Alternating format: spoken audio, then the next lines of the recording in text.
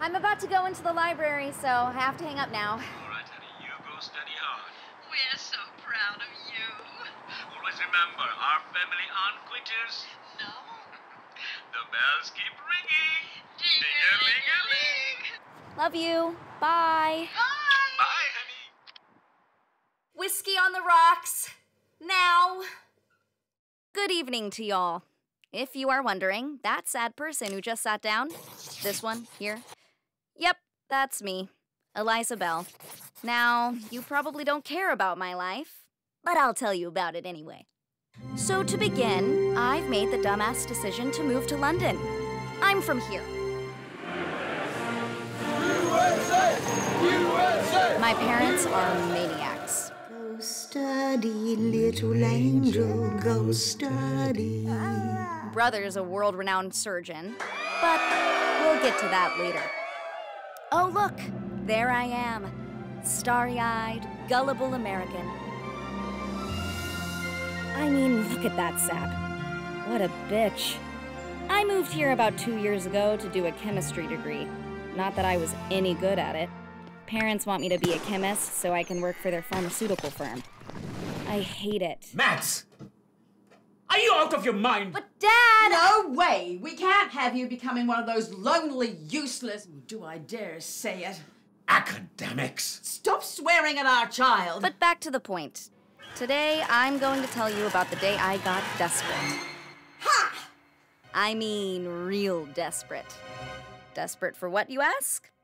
You'll understand all soon. Welcome to my embarrassing memoirs.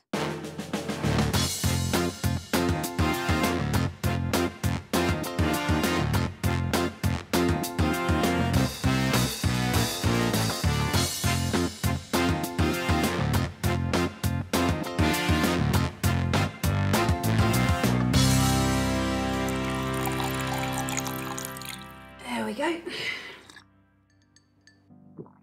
This is Susie, the proud owner of LV Lounge. She's depressing, but I like her.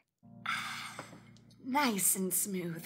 So, how's my favourite quitter today then? Hey, just because I dropped out does not make me a quitter. I can't stand listening to this shit anymore. All right, Anna, go and bother someone else with your negativity, please. Somebody's grumpy today. sorry. Was this yours, dear? This must be mine. So, let me make sure I get this right.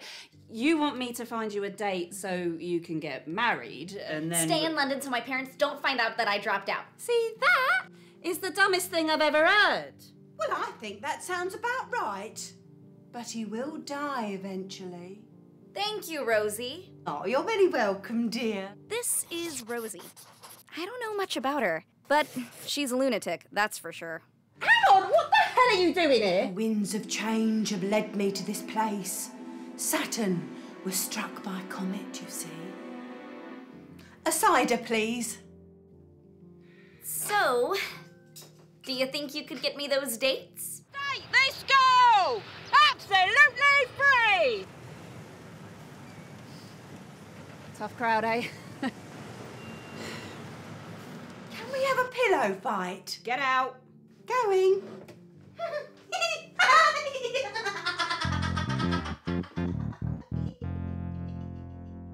Can I call you Mummy? What? No? Get lost, Toby. Regardless, I found you three dates. Do not let me down. One will take you to the past, and one. Shut up, Rosie. I if I can do this. Bloody well, better do. I went through a lot of shit getting these dates sorted for you. Play this girl! Look, I want to set some ground rules for you. Number one, pretend you're a girl.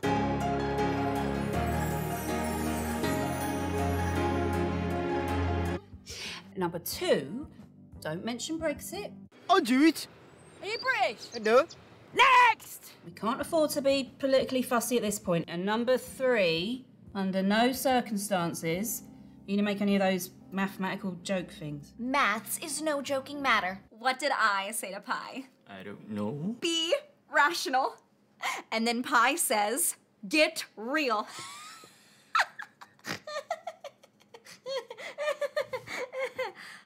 Wait, that was funny. So, tell me all about you, Ted. Well, I'm 25. I know. I don't look it. Botox works a dream.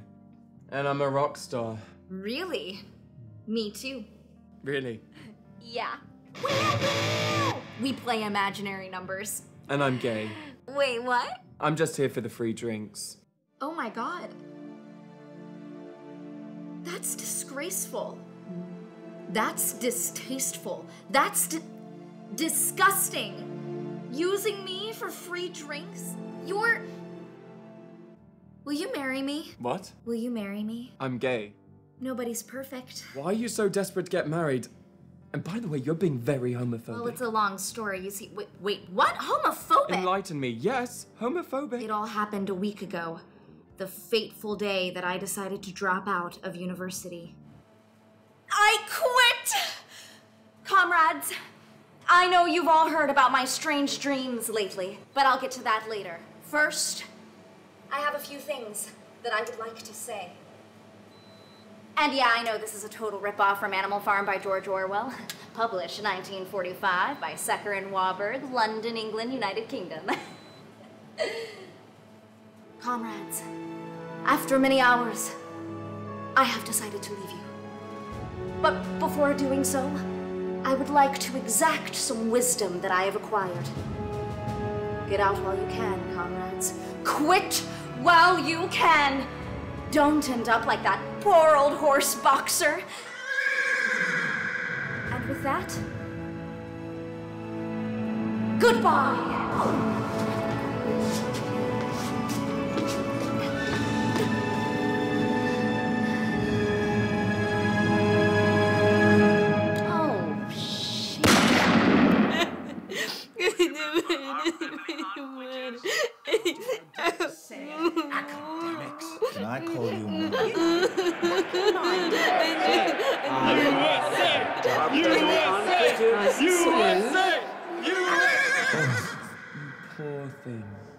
That sounds awful. Well, to cheer you up, here's a free flyer so you can come to my gig next week. Thanks. I'll take these. Ciao, ciao.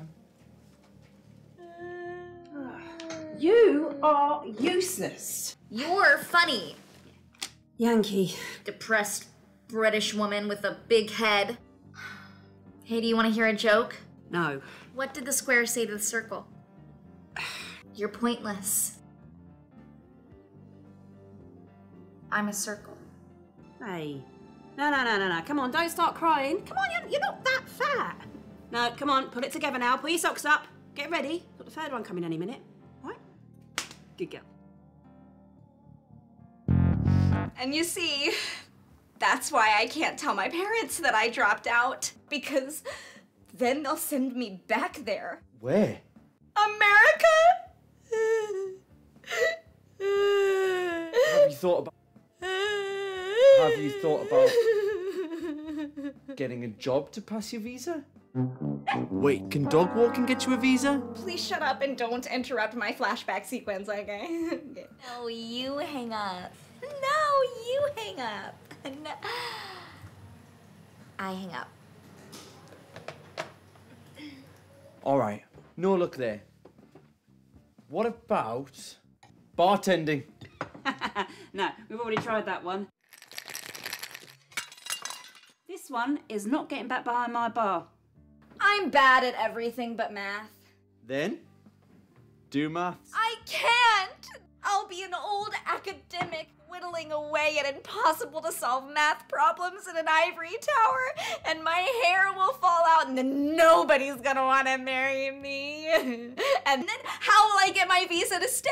Not that you and Karen know, not you and your. You know what? I bet you're a doctor. You look just like a doctor. In fact, you look just like my brother. I'm a doctor.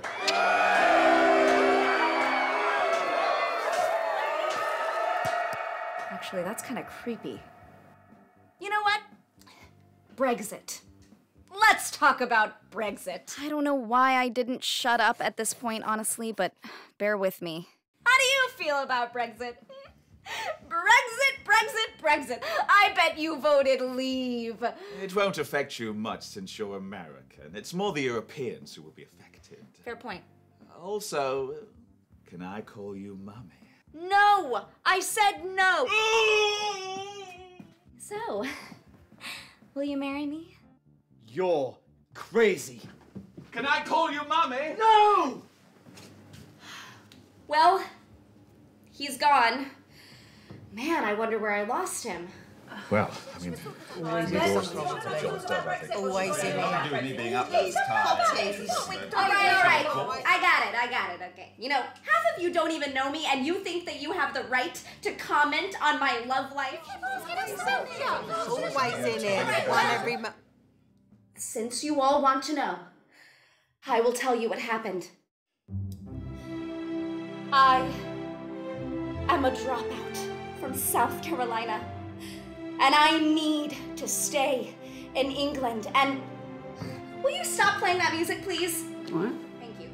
Okay, look, my parents are maniacs, okay? And I mean maniacs. Crazy psychopaths. Okay, we get it. Move on. Sorry, where was I? Psychopaths.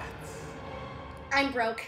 I need money. I can't get a job, and I am really, really desperate. So, without further ado, I have a question to ask all of you. Will someone please marry me? I'm open to anyone. Anyone! I'll marry you. Really?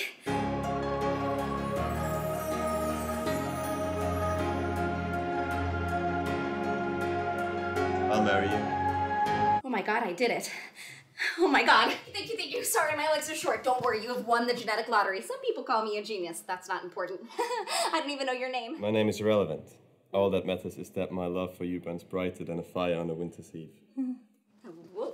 I don't know. I, I want to get married immediately, and you could be a housewife, and we could have lots of kids. And I can continue my drug trafficking. Oh, it'll be great! Let's go, my love. Susie, I owe you 23 pounds and 99 cents in taxes. Okay. Well, she's fucked.